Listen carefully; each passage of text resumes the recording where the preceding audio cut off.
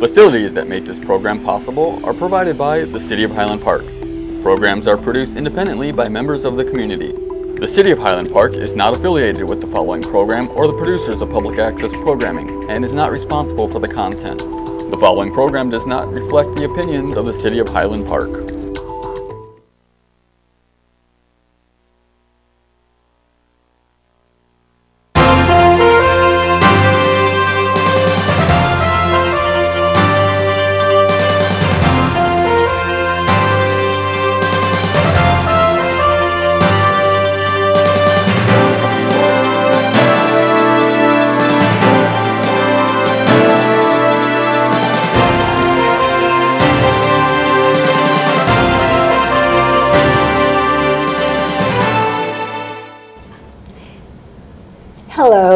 And welcome to Cahnmann's Current Events Roundtable. Today, we're welcoming back one of my favorite guests, uh, and I always hope, David, you will be coming back forever. I, I really enjoy you, Dr. David Hacker, who's a chemical engineer. And today we're going to be talking about unintended consequences in modern technologies. That is a mouthful. What is unintended consequences in modern technologies? Well, let me give you a couple of examples. One that stands out in my mind was the destruction of the Hindenburg, if you remember that back in the 30s. The Hindenburg was a master Zeppelin that crossed the Atlantic and was landing at Lakehurst, New Jersey. in the process, one of the problems was that uh, what was unforeseen is that the dirigible was filled with hydrogen, which is a highly inflammable gas. Well, as they were unloading, something happened and it triggered a massive explosion and burned the Hindenburg. And I remember the comment made by the reporter on the site who said, Oh my God, this is the worst event I've ever seen. Maybe it was the worst he'd ever seen. But the prospects of events that are unforeseen are more than likely. Everything we see. I can list a whole series of them. When we go back in time and we think about a massive explosion in Galveston, where a sodium nitrate was being brought in on a ship had ignited. No, nobody anticipated that. It wiped out the entire community. Given that, and then we go on, we can think of other instances where this is where we call it an unforeseen event. We could not have planned for it.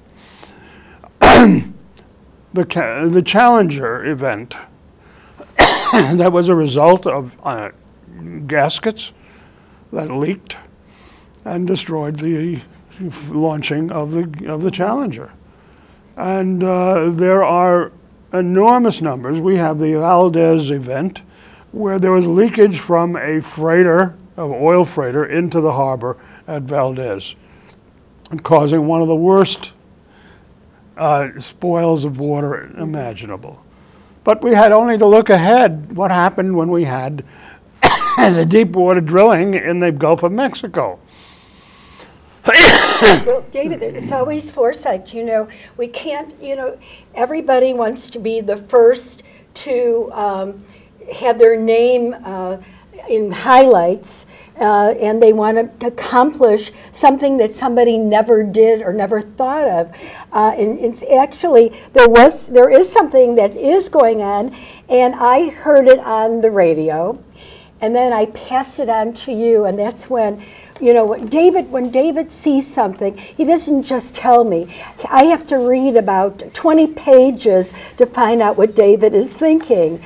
And there was a man that um, that was talking about on the radio. I'm not sure if I caught his name. He's um, uh, a, a, member of the faculty. Yes, he's an he's an engineer also, right? Or in our physicist, and he um, he wrote about uh, injecting, you know, we're having, because of our weather, we have such, we've been having such unpredictable weather, like her, terrible, terrible her, earthquakes, hurricanes, uh, all kinds of things that's going on with our weather.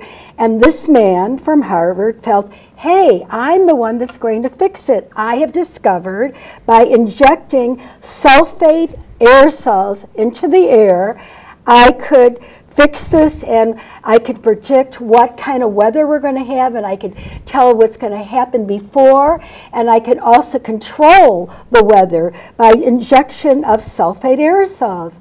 So David, I got this paper and David told me these are the unintended consequences that if he does such a thing, this is what's going to happen with, with the following.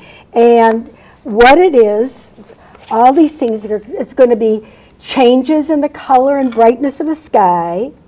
Uh, there's going to be a delay in the migration of atmospheric ozone loss. There's going to be an increase in acid rain, uh, warming of the um, in, in, in the, the, sulfate injection steps, uh, decrease in the amount of power production from concentrating on solar collectors, there's going to be increase in plant product. It's going to be increase in plant productivity, which we'll talk about, and health effects, negative health effects by doing this. And here he is. He's so happy about in his injection process that what what what is it, David? Why are they? Why did he not do any research on this, or his research didn't give him the unintended consequences? Well, let's put it this way: that many physical scientists and others really, when they plan a project, they're to some extent they try to understand all the implications of what they're doing.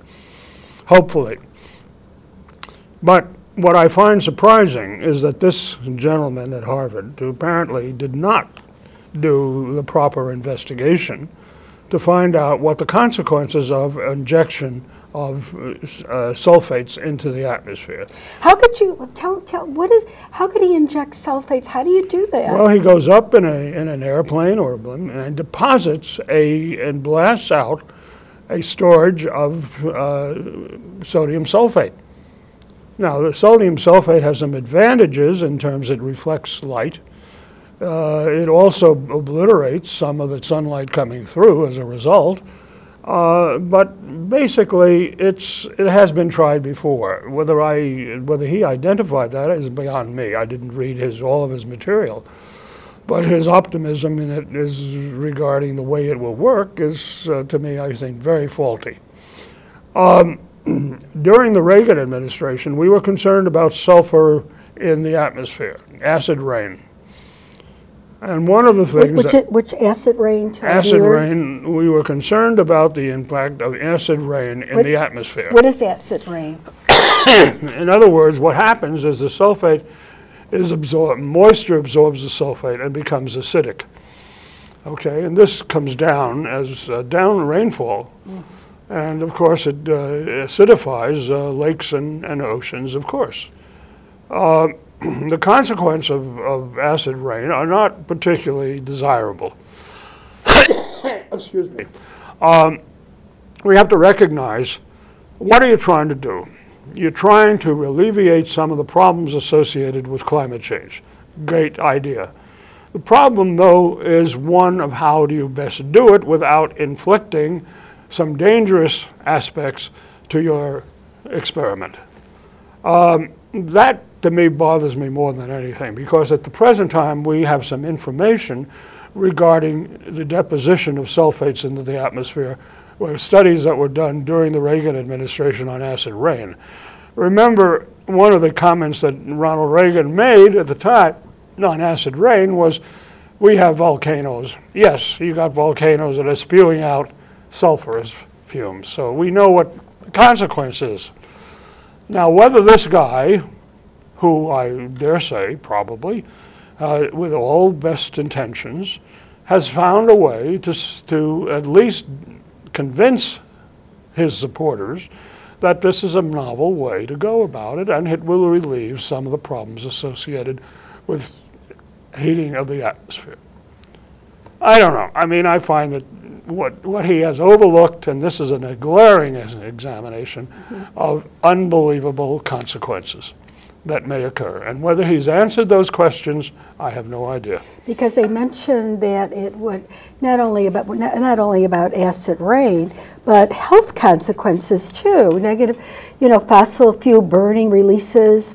uh, Everything we throw up into the the atmosphere has a, an effect on the atmosphere. There's no doubt. I mean, we have only to look at our attempts at air, uh, clean air.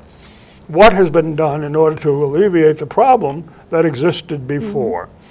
Well, what we did is we presumed that we essentially reduced the amount of emissions. We have done an enormously incompetent job in essentially cleaning up the atmosphere. Now we want to spoil that. We want to put in sodium sulfate, and you're going to make a, a difference. Oh well, please. This at this point, I would say, let's move on to another subject. But you know what? Uh, we, we in, in negative health effects, uh, by doing this, the pollution particles currently affect health and can lead up to more than 500,000, 500,000, David, premature death per year That is an estimate. worldwide. That is an estimate. That is one consequence that is, uh, going to- has to be looked at. All of these things are imagined results of, and this is what I call an intended consequence. You don't know what the actual reality is. We cannot predict Yeah, how the would they know? How do they know that's going to affect 500,000 people? Now, whoever wrote this on the That's negative That's right. You, you asked that question. How do you know that? Yeah. Right, exactly. I mean, what we see going on is this uh, uh, essentially an attempt on the part of both sides. You know, it's like the deniers of climate change versus the uh, supporters of climate change. I mean, why is there such controversy? Nobody has proof. Yeah, because he hasn't even put it in the atmosphere, and I got all these. What's going to happen? Changes in the color of the sky. From uh, it's going to be These dull. we know. We put we, we make a model, and everything we do to find out what the consequences of being, we build a mathematical model. Okay. which may or may not be correct. The mathematical model is a predictor. And that's what we have been doing all along with everything we know. We prepare some sort of mathematical, or we do it, an experiment to find out what the consequences are. So there are two ways. You can either prepare a model, a mathematical model, which doesn't include all of the variables, or you can do an experiment in which you perform what is going on and see whether or not he's right. and that is where I find myself, you know, at, at this level of controversy, I, I find myself in a position of really saying, I really don't know. You know what? I would. What I, it's interesting. How could he change the sky and everything? I mean, first of all, he goes up in an airplane. That means he can go all over the world. And, No, he goes over to specific locations and deposits his uh, sodium sulfate Yeah. at a particular batch. That consequence of his, his disposing of that sodium Mm-hmm. sulfate essentially affects radiation to the Earth's surface. Because if you think of it, you know, a particle is the problem. I mean, but what you've induced essentially is acid rain, because that's what the sulfate responds to with water vapor. So, you, you know, you, you can say, well, we ought to try it out and see if it makes any sense, or we can say at the outset, this is a ridiculous. Yeah, because it, it, it sounds kind of far fetched to me, and I'm not, you know, a chemical engineer, um, and I'm not a whatever it is geoengineer, which is we're talking about new terminology these days. What is a geoengineer? A geoengineer is someone who wants to play around with the atmosphere. Okay, so he's a geoengineer. He since thinks he he's is, yes. since he since he's trying to play around with the atmosphere. Right. And you know, um, it's kind of you know maybe the atmosphere. Maybe we're getting more um, you know hurricanes or more earthquakes or what have you. Uh, supposedly more. We don't know that because years ago it happened also. So Yeah, but the extent to which it's happening now, there are some evidence that the atmospheric content of carbon dioxide has increased. This is one of the manifestations of global warming, okay? Well, would global warming have happened on its own? We don't know. See, they say. But my supposition is it would have at a different level of speed. The rate at which it's occurring now is a result, as many scientists have agreed on that, that the amount of carbon dioxide deposited in the atmosphere is reaching proportions that are dangerous. Okay? So, so they think it's something that we're. Now, whether this is the case Yeah. or not, this is again a problem because we have no evidence other than knowing what carbon dioxide does in the atmosphere. It's a reflector, it reflects energy. Okay, so that in the radiation inward, carbon dioxide doesn't matter, allows heat to come in, but on the reflection out from the Earth's surface out, the carbon dioxide is a blocker. It tends to prevent radiation from leaving. So that means you have an accumulation of heat near the Earth's surface, and that's basically what Well, they argue is global Yeah, warming. former President, uh, Vice President Gore, Al Gore, he thinks otherwise. well, How does Al he Gore his- A is how does not he a get his- scientist. How does he He get his has no, he has, he has relied on scientific input. The question is, is Al Gore correct? I mean, he's made a big, an issue out of this thing in trying to convince people that he is right. You know, everybody tries to convince someone that I know what the answer is. There's a problem. I, I think that that maybe we are overzealous in attempting to argue solutions that we are not certain of. And so uh, people aren't anticipating, they're not really, um, uh, they're not, like you said, risk analysts. They're not really going into, uh, they're not really working it. You know, they just assume, uh, like, look what happened uh, years ago. Um, women that were uh, nauseated or sick to their stomach during pregnancy, thalidomide. That came out saying Mm, there's the same thing. Another That's thing. right. Oh, it's a safe drug. And look what happened. Children were born without arms, Right. without legs. That was a consequence that was unforeseen in the development of a drug. now, when you think about, you know, science is a very funny thing. Most people, A, do not understand the nature of, of the scientific method.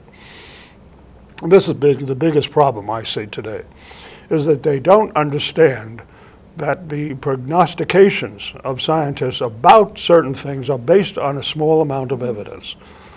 Now, those who see it as a as evidence for supporting their points of view essentially believe that is correct. That's the way to do it. There are others who say, no, you can't do that. This is not what is really happening. We have no way of, uh, you know, extending or predicting the changes that we might have. Why? I'm, I mean, when you think about it, you ask a question. Is there any solution to people solving problems then? I mean, if you said everything you do is, un, is going to force in an unforeseen event, you wouldn't do it. But let's face it, we do a lot of things. Well, a good example right now is fracking. right. You know, fracking has was an that you did for amazing, in my mind, is one an amazing piece of technology in this generation. Uh, it had relieved us of the problem of importing gas. We know what the advantages have been. On the other hand, we have now seen that there are certain aspects of fracking that essentially are causing slight tremors in the earth because of the increase in pressure, local pressure. Now, is this good or bad? Is it dangerous? Is it something we have to worry about? Is it of inconsequential evidence that it, yes, indeed, it's happening, but it's not serious? Okay? So you've got a lot of questions that you have to ask yourself. Now, when we look at the way fracking has developed, we have seen the initial arguments were don't do fracking because it contaminates water, it does this, it does mm-hmm. that. Various issues were, Yeah. were arising. That's what People who work at that field learn, they have to listen to what's going on around them. They have to find out, is that really a problem that we have to solve? and for the most part, they have done that. And what is unimaginable today is that the advantages that we have developed in fracking are unbelievable in what we thought they would be, let's say 20 years ago. Mm-hmm.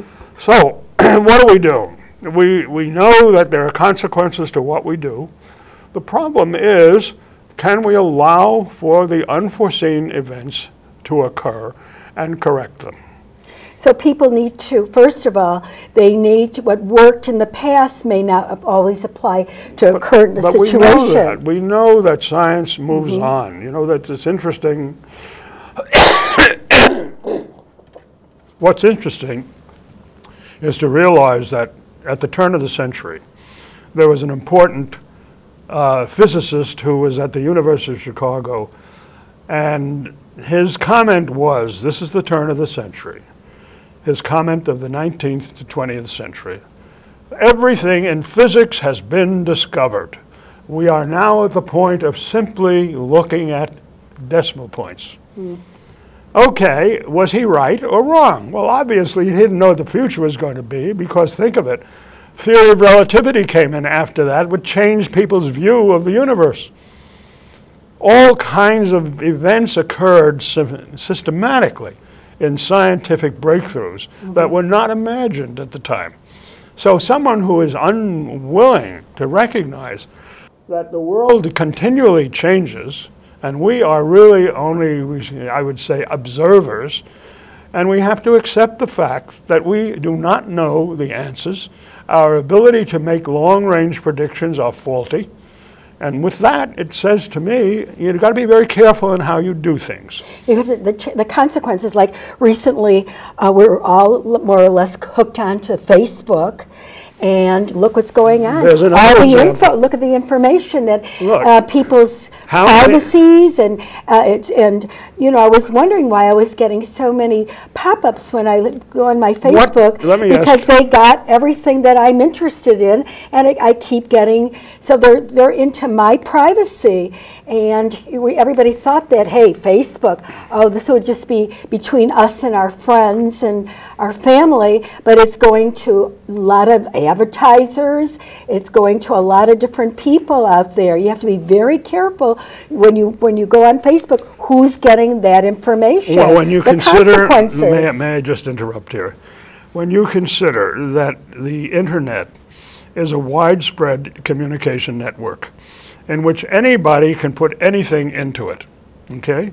Doesn't that tell you I have to safeguard my privacy in the way I use this? I claim that Hillary Clinton was ignorant of the consequences of her emails mm-hmm. uh, and how the system works. and how it really works. Right. Just recognizing that nothing is secure. Now, my original view, and I'm a, I don't know a negativist right. on this, I always said, I said, you know, one of the things you cannot rely on is email. email is available to anyone who wants it. Mm-hmm. Now, if you think that's a secure way of transmitting information, you got another thing coming.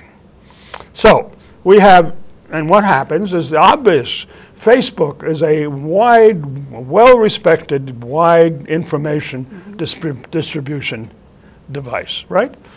Until you find out that somebody has used that information and misused it. Now what do you do? Are you going to go in after it with a policeman and stop him from doing that? No, you can't do that. We were talking, we were talking, sorry, David has a cold today. We dragged him out here to do this show. And after you, I tried uh, feeding him at Bluegrass a nice hot meal so that, um, that he'd feel better. But we did talk about this today. I even said, um, I, by the time the show airs, my, our, my one of our daughters will have a new job.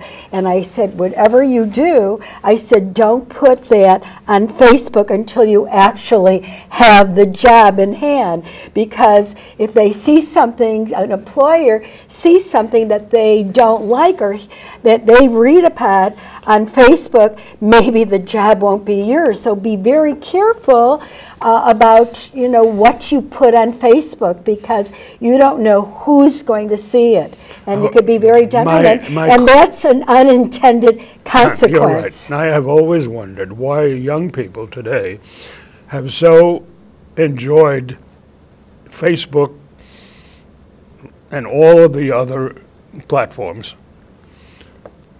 without thinking of the consequences. I mean, if they are worried about privacy, they have given it up a long time ago.